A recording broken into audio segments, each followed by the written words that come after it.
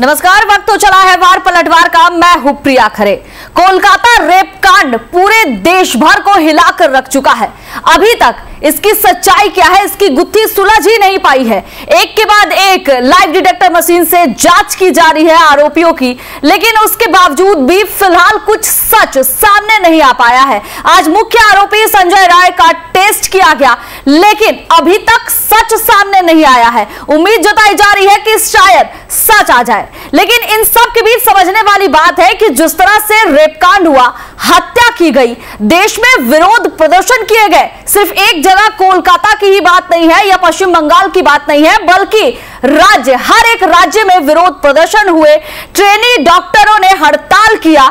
इसके बाद हाईकोर्ट ने इस मामले पर संज्ञान लिया और यह केस सीबीआई के हाथ चला गया। अब परते दर परते खुलनी शुरू हो गई है, लेकिन सवाल अब भी वही है कि क्या आरजीकर हॉस्पिटल में कुछ ऐसा अवैध काम चल रहा था, जिसकी जानकारी ट्रेनी डॉक्टर को थी और इसी वजह से उसकी हत्या की गई।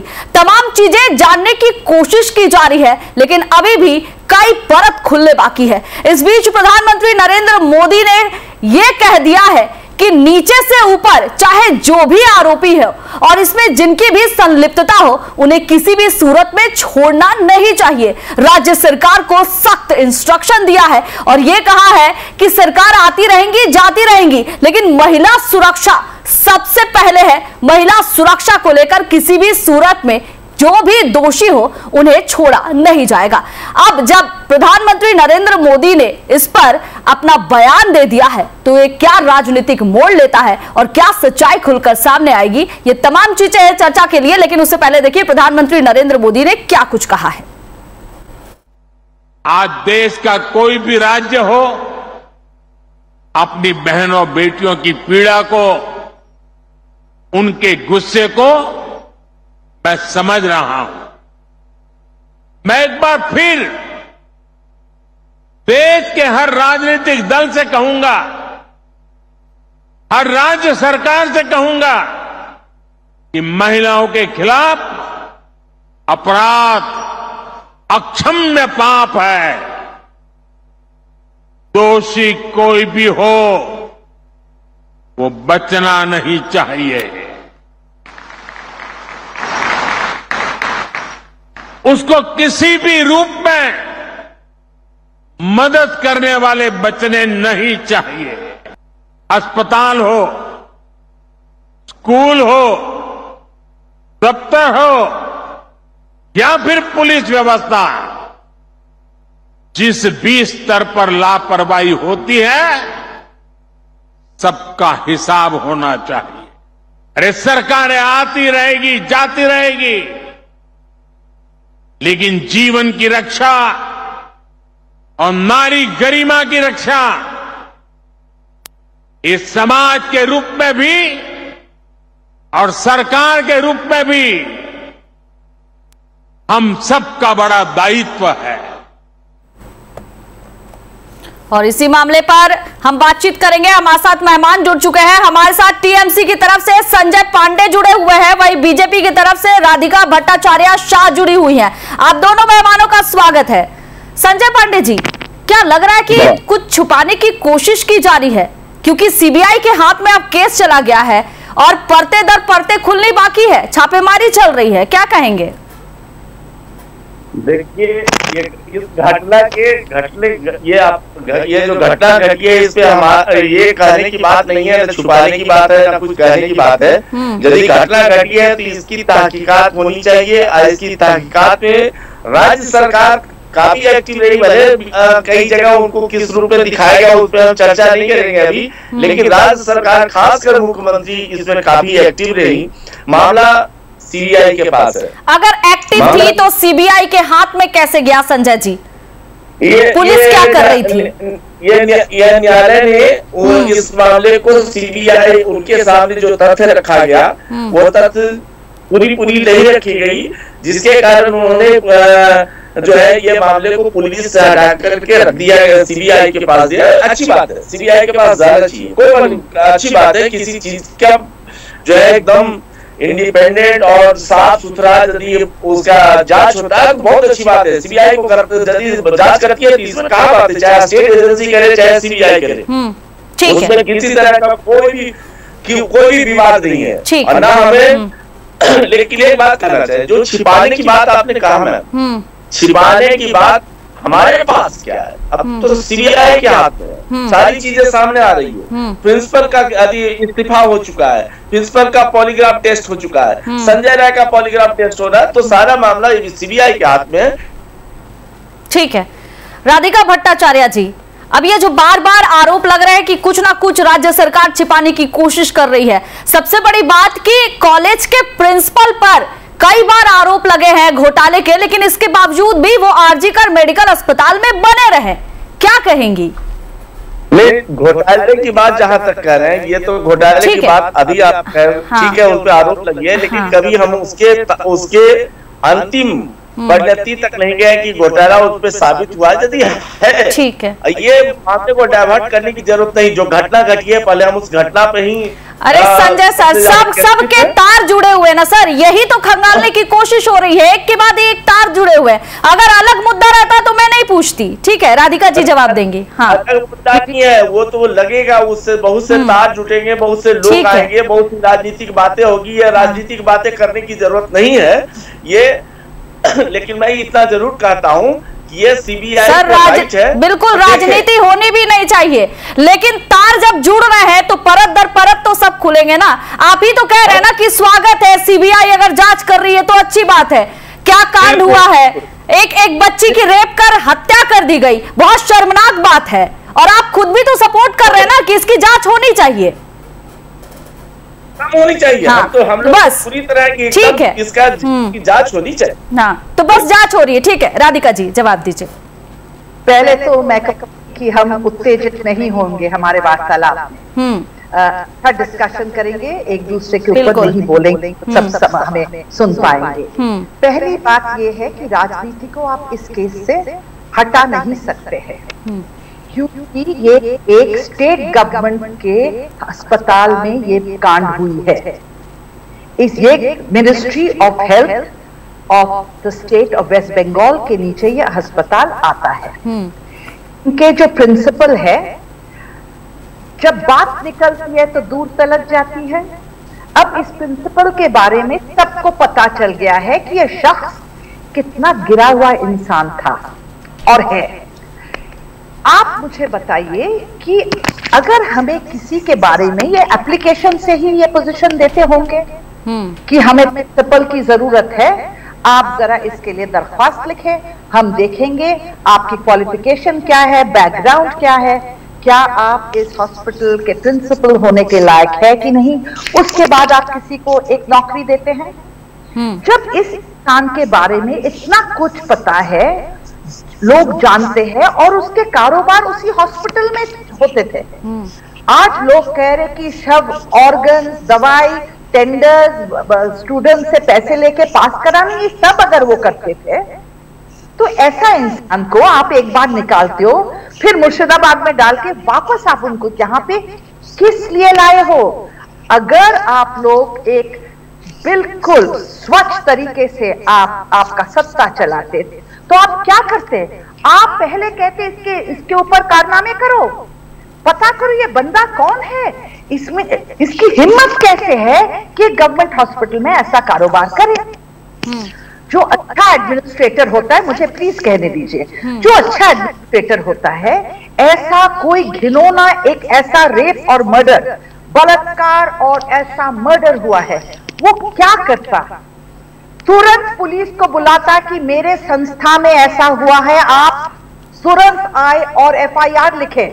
ये कैसे हो सकता है मेरे हॉस्पिटल में ऐसा कांड आप पहले जो पहली आपकी जो रिएक्शन होती आप क्या करते? एफआईआर लिखते। कुछ नहीं हुआ। आप मुझे बताएँ कि। कहाँ से हम शुरू करें? माँ बाप की बात करें हम्म। या हम पुलिस की बात संजय पांडे जी अब सवाल तो ये उठ रहा है ना कि ये चौदह घंटे जो देरी हुई है बार बार सवाल घूम कर वही आ जा रहा है कि देरी क्यों हुई? इस पर हाईकोर्ट ने भी फटकार लगाई है। इसकी सफ़ाई पुलिस के द्वारा दी जा चुकी है मैम। हम्म। कि देरी होने का कारण कि देखिए कभी भी जो केस दायर होते हैं वो सिंपल केस दायर होते हैं उसके बाद उसकी इन्वेस्टिगेशन होती है। रेप का मर्डर का, एक सिंपल मर्डर का केस ये हुआ, मरने का हुआ।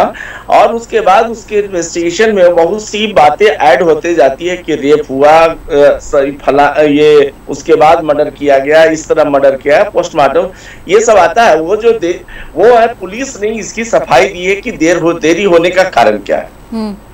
उस पर अब विशेष बात यह है कि ये ये इन्वेस्टिगेशन के अंदर अंतर्गत है।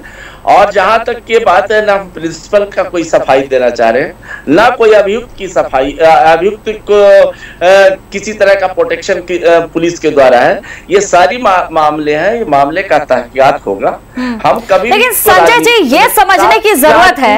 मत- ठीक है। राजनीति से इसे नहीं जोड़ना है ठीक है संजय जी। लेकिन ये समझने की ज़रूरत है कि कहीं ना कहीं लोग राज्य सरकार से खुश नहीं थे। इसलिए सड़कों पे उतरना पड़ा विरोध प्रदर्शन करना पड़ा। और सबसे बड़ी बात कि ममता बनर्जी खुद सड़क पर उतरी हैं। क्यों अपने सरकार से वो क्या कहना चाह रही हैं?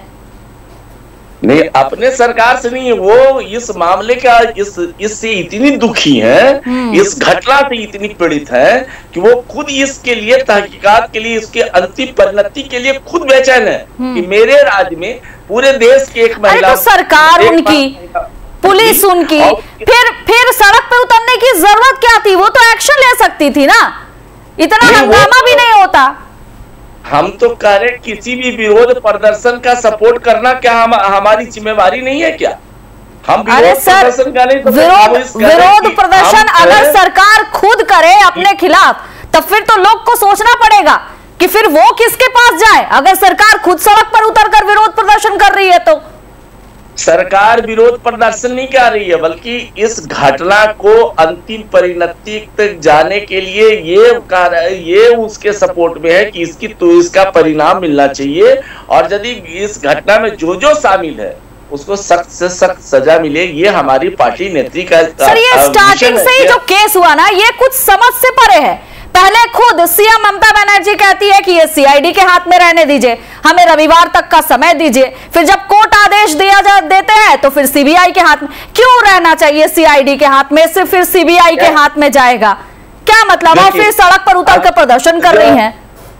जो राज्य सरकार के अं- अंतर्गत में उसने सीआईडी की बात की, ठीक है, और यदि कोर्ट ने माननीय न्यायालय ने यदि आदेश दिया तो उसका उसका पूर्णता आदर करना हमारे धर्म धर्म है। इसलिए मैंने जो समय उनसे मांगा था अब सीबीआई के हाथ में चले गए हमने स्वीकार कर लिया कि सीबीआई के न्यायालय के न्यायालय की मान्यता समाज में स्थापित होगी वह सही यदि निर्णय लिया है न्यायालय ने सीबीआई को सौंपा तो सही सच मायने में सारी बातें साफ़ हो जाएगी और सबके सामने आ जाएगा। यदि राज्य सरकार के ऑफिसरों की कोई खामियाँ होगी राज्य सरकार ऑफिसर उसके लिए यदि उत्तर नहीं होंगे तो उनको भी बक्सा दी। ये भी ममता बनर्जी का। राधिका जी ममता बनर्जी ने एक उदाहरण दिया था 2004 धनंजय चैटर्जी को जब फांसी हुई थी इस मामले का उन्हों, उन्हें उदाहरण दिया। उन्होंने कहा कि एक दोषी को पकड़ने के चक्कर में कोई निर्दोष फांसी पर ना चढ़ जाए। उनका साफ़ तौर पर यह कहना था कि धनंजय चैटर्जी को जिस तरह से फांसी हुई थी वो फांसी सही नहीं थी। अब तो वो दुनिया में नहीं है लेकिन अभी भी ये माना जाता है कि वो निर्दोष था और इसके बावजूद भी उसे फांसी हुई। इसका उदाहरण उन्होंने दिया। पहले तो मैं जरा संजय जी की एफआईआर की बात पे जरा आती हूँ। फ़र्स्ट इंफॉर्मेशन रिपोर्ट वारदात के समय जो दिखता है जो दिखा है जो पुलिस समझता है उसके ऊपर एफआईआर लिखी जाती है। तो इसके ऊपर ये इन्वेस्टिगेशन के बाद कैसे मरी किस रूप से मरी किस तरीके से मरी इसका कोई मतलब नहीं होता है। आप पहले इसको रिपोर्ट करें ना ये हो गया है यहाँ पे। मेरे संस्था में इतने बजे हमें एक शब्द मिला है इस रूप में। ये पहले एफआईआर में जाती है। अभी देखिए ये जो पाँच दिन छह दिन का जो उनका दरमियान का वक्त मिला इसमें प्रमाण का क्या हुआ? मिटाया गया छुपाया गया। इस प्रमाण के साथ क्या किया? सीबीआई तो अब आई है। जब सब कुछ साफ़ हो गया जब इतने साढ़े चार हज़ार लोग संख्या में आके अस्पताल में तोड़ फोड़ करके गए। आप मुझे एक बात बताइए और क्योंकि मैं एक समान नागरिक के रूप से ये सवाल कर रही हूँ ये क्या पैराशूट में आके उतरे थे हॉस्पिटल के पास? ये कब से इकट्ठे होके चल रहे थे? क्या पुलिस को खबर भी नहीं था कि ये अस्पताल की ओर ही जाएँगे क्योंकि ये विरोध प्रदर्शन में जा रहे थे? क्या वहाँ पे उन लोगों ने वो सब बंदोबस्त नहीं कर पाए थे? आमतौर पे पुलिस तो हर एक चीज़ इस्तेमाल करती है चाहे टीयर गैस हो या पानी से उनको रोका जाए। इसका कोई प्रबंध नहीं था एक ऐसे अस्पताल में जहाँ पे एक महाकांड हुआ था ऐसा। और देखिए अभी इसमें दोषी कौन है? कितने थे? किसने किया? कौन किसको छुपा रहा है? ये बात कहाँ तक गई है? इसके पीछे समर्थन जो था ये प्रिंसिपल का संदीप घोष का कौन दे रहा था उसे समर्थन कि भागे भागे एक एमएलए और एक राज्य मंत्री गया उसके उसको बचाने के लिए? अरे ये तो एक आम नागरिक है ना संदीप घोष? ठीक है। राधिका जी मैंने मैंने जो मैंने जो सवाल किया उसका भी आप जवाब दे दीजिए फिर संजय जी से जवाब लेते दे रही हूँ, हाँ। ठीक है ना मैं बता रही हूँ। हाँ। या सही है गलत इंसान को फांसी नहीं लगनी चाहिए। हम्म। पर इस केस में हम पहले पता तो करें कि कौन था बंदा। क्योंकि अगर आप इस, इस संजय राय को देखें बिल्कुल उसके चमड़े पे जिल्द पे ना कोई दाग ना कोई जख्म। हम्म। अगर कोई मेरे ऊपर ज़ोर लगाए क्या मैं उसको भगाने के लिए हटाने के लिए उसको काटूँगी नहीं नोचूँगी नहीं चिल्लाऊँगी नहीं? क्या मैं लेटे तो यानी राधिका जी आप भी इत्तेफाक रखती है मुख्यमंत्री ममता बनर्जी की बातों पर कि कहीं ना कहीं हो सकता है संजय राय दोषी ना हो। इस बात से आप इतफाक रखती है क्या? ये ये हम बस पेश कर रहे हैं इसको। एक हाँ? एक ये तर्क पेश कर रहे हैं। अभी ये सीबीआई को के लिए बहुत एक मुश्किल सा एक जैसे शशांक सिंह राजपूत का था हाँ। सुशांत सॉरी सुशांत सिंह राजपूत का था ये सीबीआई के लिए ये। मुश्किल मुश्किलात हैं क्योंकि उन्हें लोगों बहुत सारे लोगों से पूछताछ करनी पड़ेगी जहाँ पे सिक्योरिटी नहीं आप मुझे एक बात बताइए सिक्योरिटी वाला एक टेकअवे संजय वाले हाँ। आने संजय पांडे जी। संजय पांडे जी ये ये ये सवाल तो है ही हाँ। मैम मैम के ये बात को है कि किसी भी व्यक्ति को निर्दोष व्यक्ति को सजा नहीं मिलनी चाहिए। ये कानून सब दिन कहता है ये कानून कानून और ये आ, हम लोगों के आ, हम लोगों के- के बीच भी ये बात रहती है कि निर्दोष व्यक्ति को कभी नहीं फंसना चाहिए। वो सब बात पे नहीं जा रहे हैं। हम ये बात कर रहे हैं कि ये सीबीआई को पूरी मौका है कौन सा डॉक्यूमेंट देखना है? किस व्यक्ति से पूछताछ करनी है? कहाँ क्या और कौन कौन सा व्यक्ति इसमें इन्वॉल्व है? उनको देखना वो सीबीआई देखे। ठीक है। इसमें कोई शक नहीं है। और उसके जितने भी सीबीआई को हेल्प की ज़रूरत है ममता बनर्जी का है। खुद ठीक है। ठीक है संजय जी हाँ संजय जी समय की कमी है अंतिम सवाल का जवाब ले लेती हूँ। अब प्रधानमंत्री नरेंद्र मोदी ने भी कह दिया है कि नीचे से लेकर ऊपर तक जो भी दोषी हो उन्हें छोड़ना नहीं चाहिए। राज्य सरकार को उन्होंने आदेश दिया है कि राज्य सरकार को इस पर त्वरित कार्रवाई करनी चाहिए। क्या कहेंगे? ये, ये, इसमें तो हम देखिए जब राजनीति के बाद प्रधानमंत्री के बाद ये दोहरी बात है उनकी दोहरी नीति रहती है। वो बिल्किस बानो में कुछ नहीं बोलते हैं हाथरस में कुछ नहीं बोलते हैं बदलापुर में कुछ नहीं बोलते हैं। वो बात नहीं यदि ऐसी है कि उनकी धारणा है कि समूचे देश में महिला महिला के विरुद्ध की गई कार्रवाई कोई भी दुष्कर्म सॉरी लेकिन संजय जी उन्होंने नाम कहाँ लिया? उन्होंने तो ऐसा नहीं कहा कि कोलकाता कोलकाता का है। ये हाँ। ये राजनीतिक बात ना करके अभी की घटना को हवा देने हाँ। की ज़रूरत नहीं है। प्रधानमंत्री तो आप ही कर रहे हैं। प्रधानमंत्री है। हाँ। और प्रधानमंत्री को का आदर करना मेरा भी मेरी भी है जिम्मेवारी है। ठीक है। लेकिन सर ठीक है। संजय जी लेकिन उन्होंने कोलकाता का नाम नहीं लिया ना सर। इसलिए आप नहीं बोल सकते हैं। उन्होंने कहा कि जिन राज्यों में हो रहे हैं। जो हाँ। घटना सामने घटती है, है। उस समय घटना के संदर्भ में यदि कोई बात बोली जाती है तो वो जोड़ा जाता है उसका तार जो अरे तो सर इसके बाद भी तो कई घटनाएँ हुई ना बदलापुर अभी तो आपने कहा उत्तराखंड हाँ, तो बदलापुर ये सब तो केस हाँ, हो रहे हैं ना अयोध्या में भी हुआ हाँ ठीक है।